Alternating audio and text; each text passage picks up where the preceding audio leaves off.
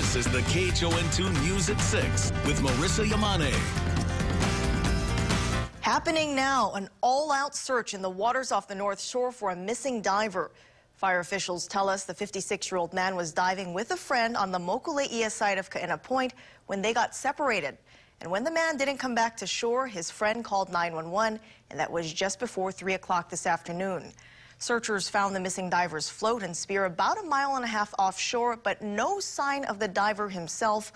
We're tracking this developing story and we'll let you know once we have an update.